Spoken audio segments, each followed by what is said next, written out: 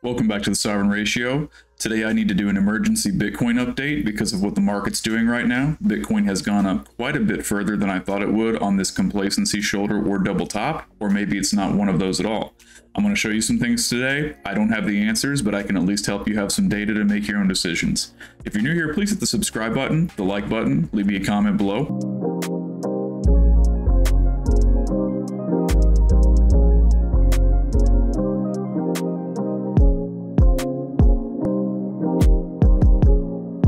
First thing we're actually going to look at is current open interest. You can see that Bitcoin is sitting at $47,472 right now with a total open interest of 12.725 billion. Now, one thing I want to note is if I just put my cursor over here, you can see that Bitcoin has not had an open interest of this magnitude since approximately August of 2021 back here in 2020, late 2021, it got close to it a couple of times, and both of those points led to down moves in the market. But if we just kind of put our cursor there, you can see very clearly the last time that it was above this was actually right here, but the last time that it ran up to that was in September of 2021, right here at this peak.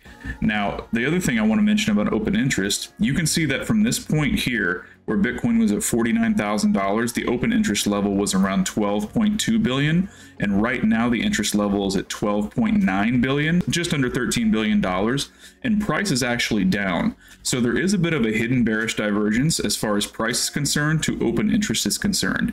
And the last time that I saw that happen, there was a move down, but of course that's not guaranteed. That's just what I'm seeing on the chart. The next thing that I want to look at is just simply the volume profile you can see that back here in the bear market, there was a lot of volume right here. The candles are huge. A lot of trading was happening.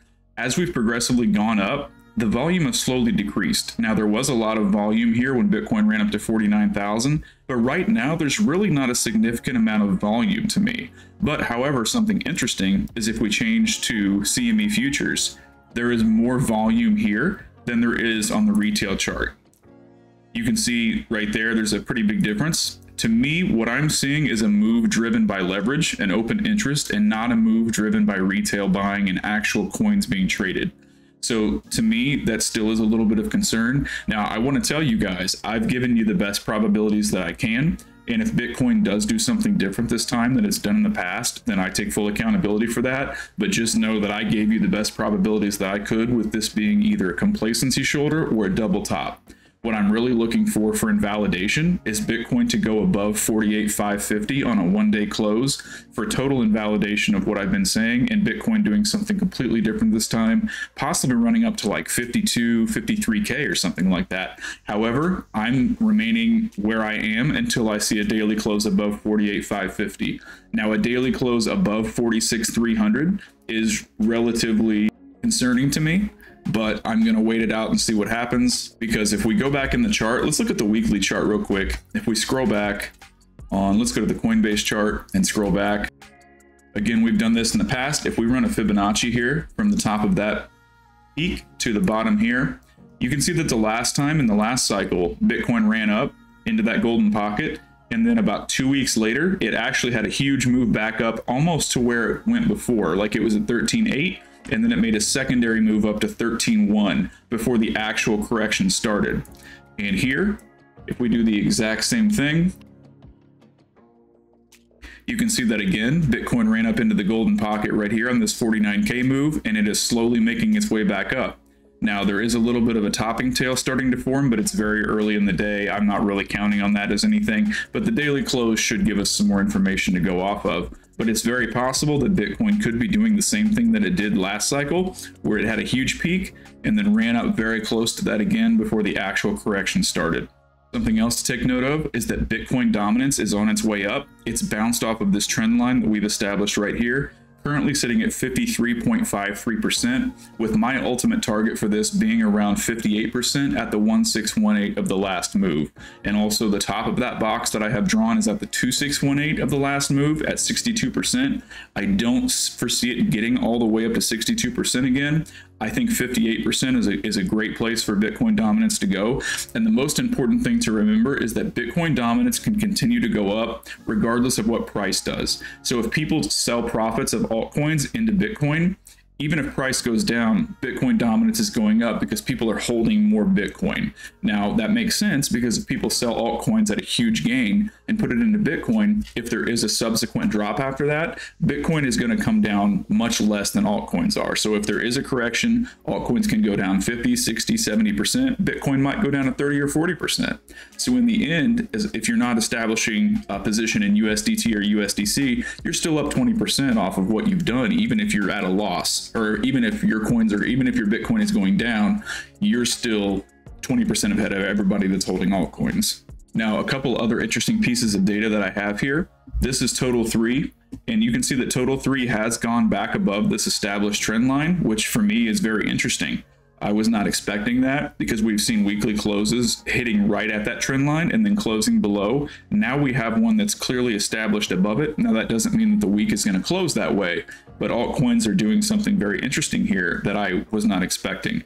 So you can see clearly it's moving up right now. But the interesting thing about that is, is if we go back to my custom created chart, which is total 3 minus USDT divided by Bitcoin. I've showed this chart many times in the past, and this is a representation of altcoins against Bitcoin essentially.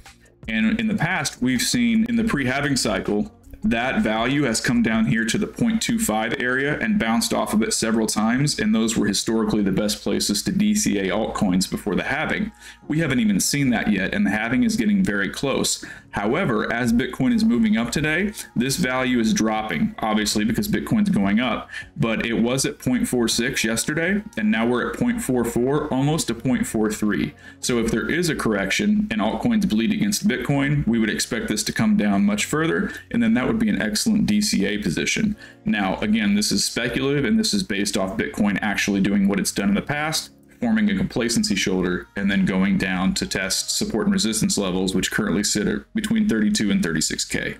Another thing to note here is Ethereum versus Bitcoin. You can see that there was a bit of a fake out here on Ethereum moving up and altcoins moving up with it, and then a slam right back down as Bitcoin started to move up. This value came back down and is now within trend again. You can see that's the second time that it's tried to break out of trend and simply can't do it. So in my opinion, things are not looking good here for Ethereum, not necessarily versus USD. That remains to be seen, but Ethereum versus Bitcoin is looking very poorly right now. And if it if it tests this trend line here, this box that we have established, you know, that would be the fourth touch of that. And I could definitely see that that value coming back down here to the 0.04 level, which would be also bad for altcoins, at least versus Bitcoin. We don't know what price is going to do, but Bitcoin right now, def if you're going to hold anything right now, to me, Bitcoin looks like the thing to hold. I really don't see this magnificent alt run that people are talking about. But again, there is some contradictory information here on Total 3 where altcoins are moving back up again. Another interesting thing is that we've just had the US open for markets, and you can see that price is starting to reverse. Now, I think here in the next couple of hours, we're going to see some more decisions being made as far as price is concerned. I'm actually in a short on altcoins right now, and it's in profit. Now, there are some altcoins that I would not be in profit on, like Rune is up right now. Let's just take a quick look at those actually and see what's up. You've got Cody, uh, which I hold a spot position in right now. You've got uh, VR, which is one of the coins that I plan on getting if price does go down more. But bigger coins, you've got uh, Rune is up 12%, Alephium is up 10%, TAO is up 10%. TAO has just been a workhorse. Look at this TAO chart. It just it just can't be stopped. It went up to 520 bucks. Uh, Illuvium is up 8%. AIOZ is up 8%. Fetch AI is up 8%, Injective is up 8%. Now, one interesting thing that I will note is a coin that has seemingly been unstoppable for the longest time is Celestia. If I go to Celestia here, we will see something fairly interesting in my opinion. Celestia has actually basically stopped here for the first time in a long time. Um, I thought it was going to do a little bit of a double top right here. It actually went a little bit further, but there's a pretty big slam candle right here, sending price back down below that trend line. And this is the first time where Celestia has not had a higher high. It's just been the most beautiful chart that you've ever seen. Higher high, higher high, higher high, higher high. But finally, we have something that's starting to look like a rounding top here, which means that Celestia could actually have the correction that is needed for a long time, probably to the tune of 50%, but we'll run this fib here. You've got the 61865 golden pocket sitting between 880 and 940. And then you've got another area of interest here around the $11, $12 area. So around $12 and around $10 are the two areas I'd be looking to pick up Celestia. From here, that is a 40% drop and a 50% drop. Whenever Bitcoin makes a pre-halving correction, I like to say anywhere between 50 and 70%. So for me right now, that $10 area is looking really juicy for Celestia. I think that's a very safe spot. The other interesting thing is you've also got this point right here right below $10 where there was a massive wick down. And generally price likes to revisit those kind of crazy wicks like that at some point or another. So for me, that would be the place to pick that up. And back to Bitcoin here, there's just a couple of things that I want to note. Let's look at some technicals. So you can see that the stock, the ultimate stochastic RSI has printed an overbought signal and it's also starting to curve down. It's been up in the top of the range for quite a while, as has the regular stock RSI.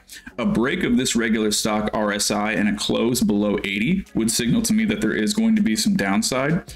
Also, the RSI has just been in this bullish divergence for quite a while. You can see from here to here, we draw a trend line here, we draw a trend line here, there's some bullish divergence that played out with that move down to 38K. And until Bitcoin is able to reclaim and go above that 49K level, I think that divergence is still in play, especially since what we're seeing right now, if we delete those two lines we just made and look at this, we've got a price movement down here, but we've got an RSI movement that's flat and that is a medium hidden bearish divergence. So that would also signal some weakness right now in the market. But again, things are just so crazy right now with this pre-halving pump. It's hard to say what's going to happen, and Bitcoin could do something that it's never done before and head back up to 52k or something. Um, I don't think that's going to happen. I'm not playing it that way, but if it does, I'm prepared for that to happen. If you're new here, please hit the subscribe button, the like button, leave me a comment below. Today's close is very important. Please keep an eye out on it and be safe in your trades. We'll see you in the next video.